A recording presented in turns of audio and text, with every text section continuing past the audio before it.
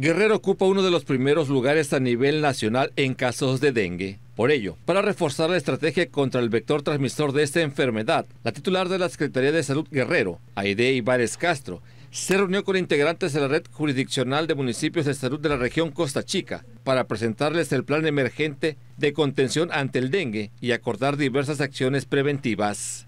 La funcionaria destacó que no se trata de alarmar ni generar miedo en la población por la situación de dengue que se ha presentado en Guerrero, pero sí debe atenderse con responsabilidad. Ibares Castro apuntó que el dengue afecta a adolescentes y menores, que tiene un proceso evolutivo más rápido que los demás virus. Requiere de atención médica urgente ante cualquiera de los síntomas como dolor de cuerpo o de cabeza, dolor retroorbicular, dolor al orinar, por lo cual el personal médico debe enfocarse en emitir diagnósticos certeros para brindar atención adecuada.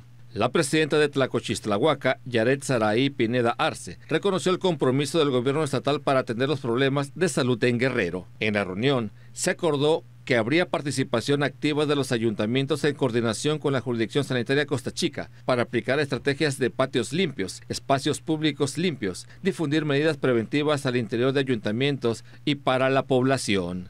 Les ha informado Hugo Sandoval Alcaraz para RTG Noticias.